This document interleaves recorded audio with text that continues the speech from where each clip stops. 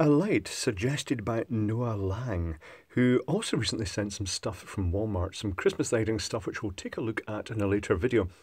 But this is a light that came from eBay, and you'll notice if I turn it so it's kind of showing it, the camera exposure goes down, you'll notice that the Hopi goes stable because it's look, doing a longer exposure.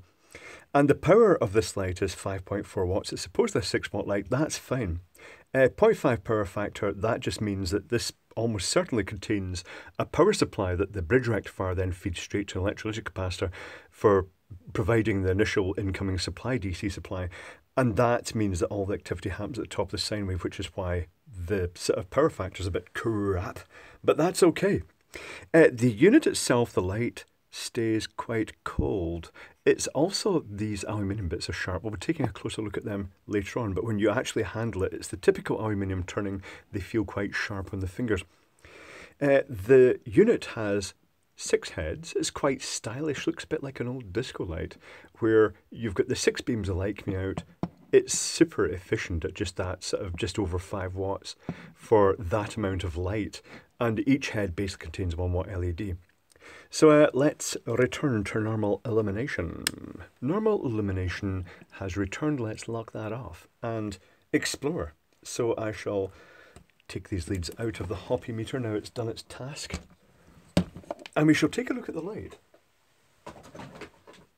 First thing that's worthy of note is that the power supply, to save space in here, the power supply doesn't have a little box, it's just a sleeved, heat shrink sleeve power supply that is then basically stuffed in under here.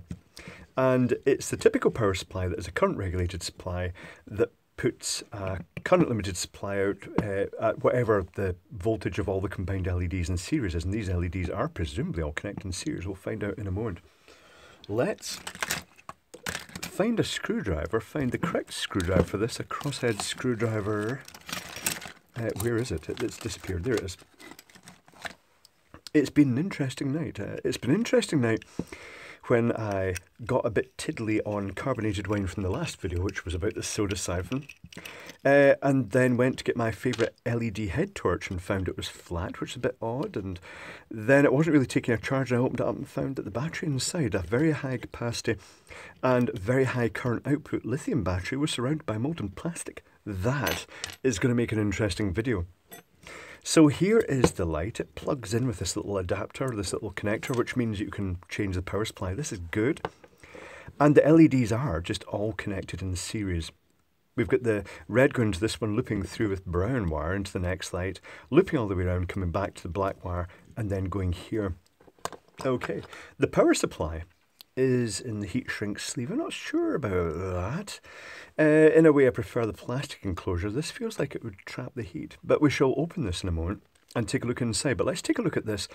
This, uh, I should mention that this light came from a supplier.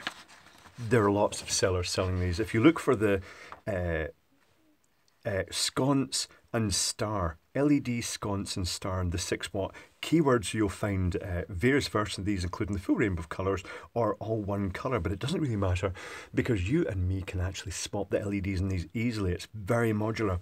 And you could adapt it. You could turn it into a 12 volt light if you wish. So this came from i-shoppy. Uh, and the full description is, of course, high power 6 watt LED wall sconce light bulb star colourful spot lamp disco corridor. And it cost 29 Australian dollars, which converted to 20 American dollars. Or whatever that came to in pounds, not really sure. I, I most likely paid for it in dollars given the wonders of PayPal. The assembly is very neat. I've come across these lights. Do I have any here? Mm, I've not really got any handy that show the same thing. Uh, let's unscrew this. Let's show you one of them.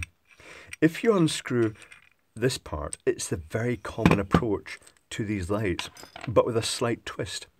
It's got the standard Luxeon type LEDs, and if I pull this off, oh, actually, it's different to what I was expecting. That's even better. It's got a flat surface for the LED for the heatsink compound, and then the wires actually, it has a channel going underneath to allow easy routing of the wires. That is a nice feature. We've got the classic collimating lens, that sits on the end that uh, it, although it's clear, though there's no metallization, it gathers all the light by refractive index uh, differences and fars out the front. It's a really common type of lensing system for these LEDs. And then we get the front housing that holds that on. Now, I have to say, as with a lot of these turn components, it feels sharp. These grooves that have been put in, you could almost cut your finger on them, but not deeply, because I don't think it would go that deeply, but you can feel it actually bite into the skin a little bit. However, what we're interested in is the fact that this is a very standard Luxeon star tile style LED with the wires routed in a nice convenient manner and it means that you and me can change this LED to whatever we want and if the light failed in any way we could you know if one of the LEDs failed we could just replace it let's say put this on in a sensible manner I'll just drop the collimating lens back down into here and I'll just point that down the way and uh, and then screw it on interestingly it's got a threaded section. Is that... Uh, I'm guessing... Well, tell you what. I'm going to grab a pair of long nose pliers and I'm going to loosen that. Let's see how this comes out. Is that just a piece of threaded, uh, hollow threaded standard lighting studding that's going into here? Let's find out.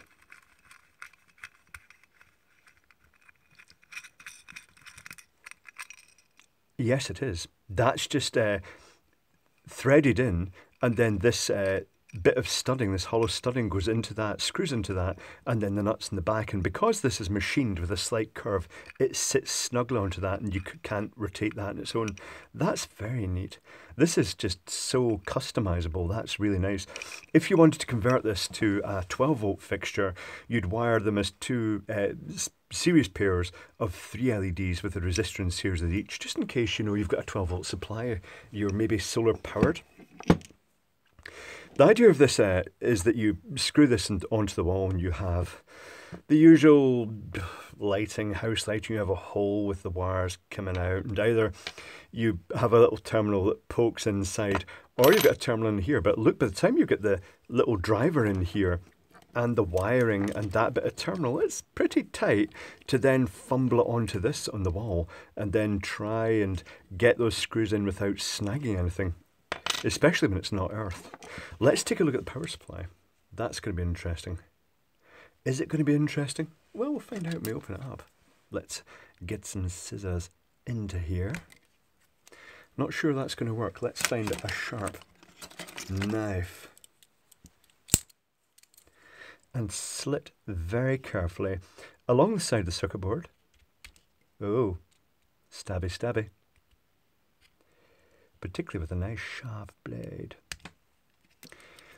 The advantage of using this little power supply is that it is straightforward to get a replacement. Because bear in mind, it'll be a typical, well, what does it say? It doesn't say the output current, uh, but you know the output voltage should be roughly 3 volts per LED. There's 6 LEDs, so that's about 18 volts. And the, usually they say in these power supplies they are rated for about six watts or so. They have a sort of range that they'll cover. Oh. Rightio, let's take a look at this. Bit uh, worried that the heat shrink is going to ultimately clamp everything together because they're doing the usual things. Just puts my finger across the capacitor to make sure it's discharged. Oh, that's interesting. It's had a couple of wires, pink and white, on this, and they've cut them off and they've tacked these wires on instead. It may have just had loose wires, and it was just the easiest way to do it was just put their own connector on.